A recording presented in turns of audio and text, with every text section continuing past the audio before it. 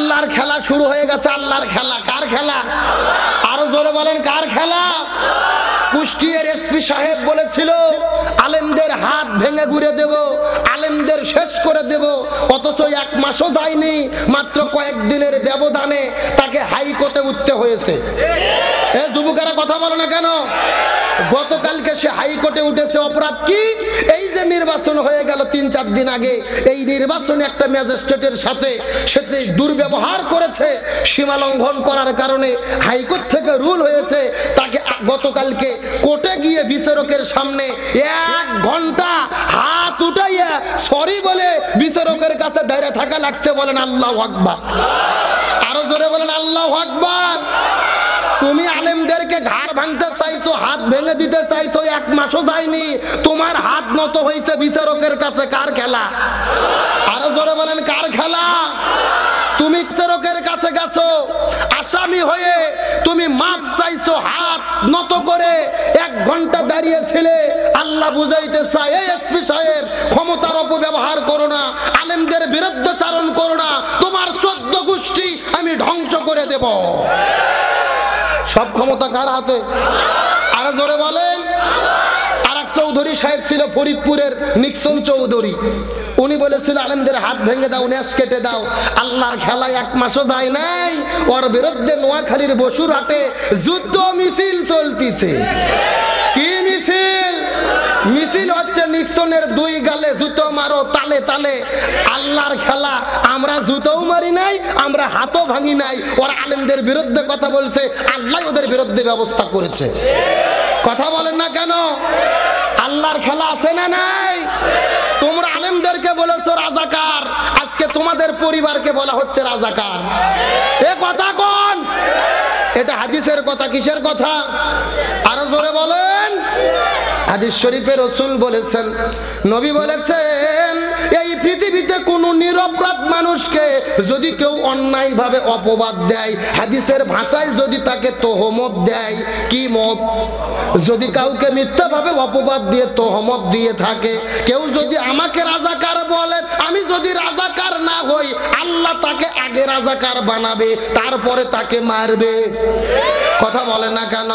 কেউ আমাকে চোর বলে গালি দেয়, আমি যদি চোর না হই, যেই লোকটা আমাকে চোর বলে গালি দেবে, আল্লাহ ওকে আগে চোর বানাবে, তারপরে মারবে।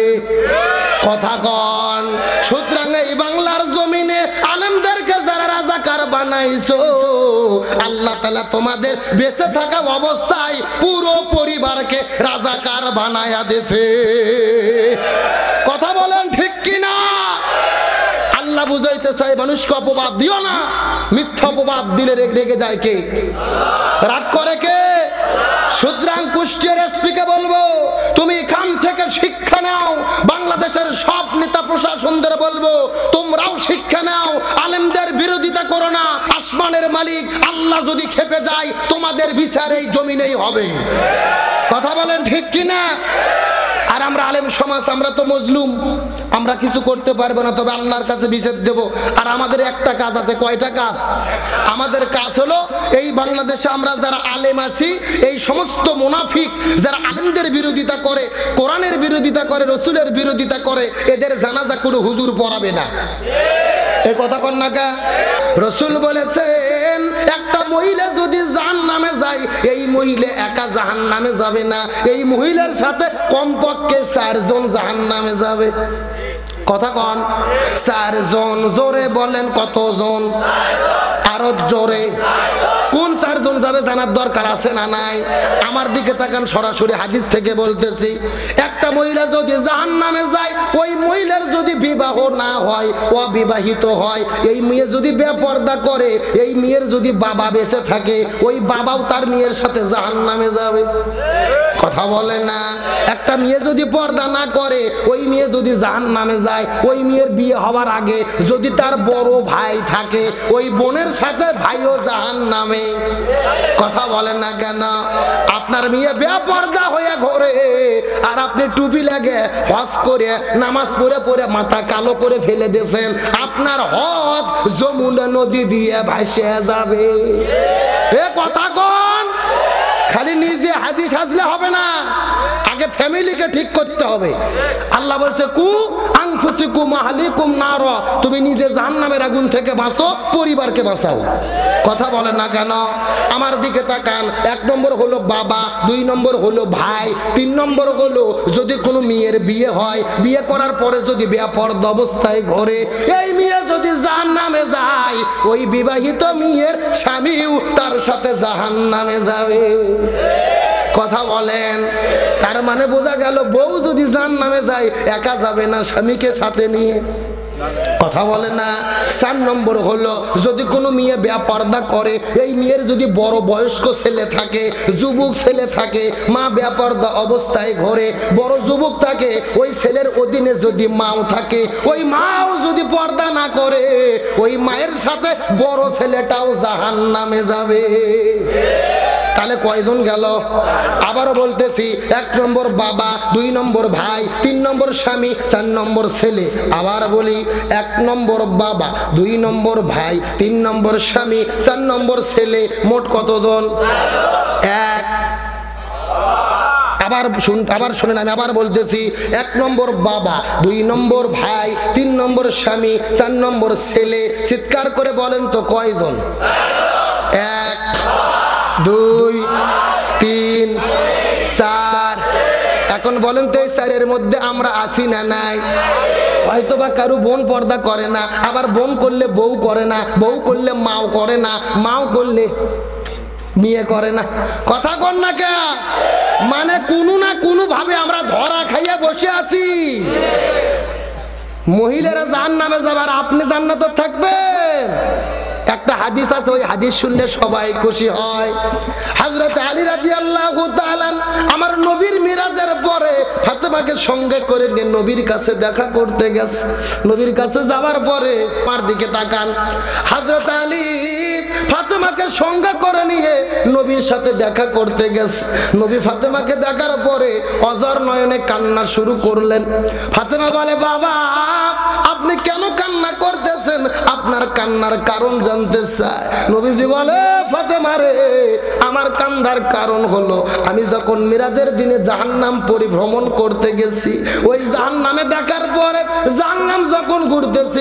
আমি লক্ষ্য করে দেখেছি, অধিকাংশ মহিলা দেখলাম আগুন দিয়ে দাউ দাউ করে তাদের শরীরটা পুরানো হচ্ছে।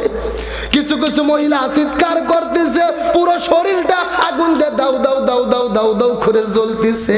ওই সমস্ত মহিলারা এত জোরে চিৎকার করতেছে, পুরো জাহান্নাম থরথর করে কেঁপে উঠতেছে। আর মহিলাদের মাথার ওপরে বসে, কিছু কাকগুলো বসে আছে। এই কাকগুলো মাথা আর মগজগুলো ছিঁড়ে ছিঁড়ে খাচ্ছে। নবী বলে, ফাতেমা রে এই দৃশ্যটা দেখার পরে আমি অজর নয়নে কান্না শুরু করলাম। জিব্রাইলের সাথে দেখা হলো, ও ভাই, জিব্রাইল, এরা কারা জানতে চায়? জিব্রাইল বলে, নবীজি, এই দৃশ্য আপনাকে দেখানোর কারণ হলো, আল্লাহ তালা বলে দিয়েছে, আপনার উম্মাতের ভেতরে অধিকাংশ মহিলা জাহান্নামে যাবে। অধিকাংশ মহিলা কোথায় যাবে? এটা শুনে তো খুবই ঠিক বললেন। মনের মধ্যে একটু ভালো আনন্দ লাগে যে অধিকাংশ মেয়ে যান নামে যাবে, কিন্তু অধিকাংশ ছেলে। এই হাদিসের হেকমত হলো, ওই অধিকাংশ মহিলা যান নামে যাবে, কিন্তু অধিকাংশ মহিলা একা যাবে না। ওই অধিকাংশ মহিলার সাথে ওর বাবা, ওর ভাই, ওর স্বামী, ওর ছেলে, একসাথে অধিকাংশ মেয়ের সাথে অধিকাংশ ছেলেও জাহান নামে যাবে। কথা এই জন্য জান নামের আগুন থেকে বাঁচতে চাইলে পর্দা, পর্দার কোনো বিকল্প নেই। রসুল বলেছেন, আর দাইসুলা তাদখুলুল জান্না দাইস কখনো জান্নাতে যাবে না। সাবিরা জিজ্ঞেস করে বললেন, নবীজি, দাইস কারা? আমরা একটু জানতে চাই। নবী বলে সাবিরা দাইস হলো ওই সমস্ত অভিভাবক, যাদের অধিকাংশ মহিলারা পর্দা করে না। অধীনস্থ মহিলারা কি করে না? সুতরাং বাবা হন, ভাই হন, অধীনস্থ মেয়েদের পর্দার বিধান মেনে চলে হবে মা বোনেরা। জান্নাতি নারীদের সর্দারনি ফাতেমা হয়েছে দুইটা কারণে। একটা হলো পর্দা, দুই নম্বর হলো সে জান্নাতে জন্মগ্রহণ করেছে। আমার মা বোনেরাও যদি পর্দা করে, ফাতেমার সঙ্গে জান্নাতে চলে যাবে, জোরে বলেন সোবান আল্লাহ আর জোরে বলেন সোবান আল্লাহ আল্লাহ তালা আমাদের সবাইকে কবুল করুক, বলেন আমিন।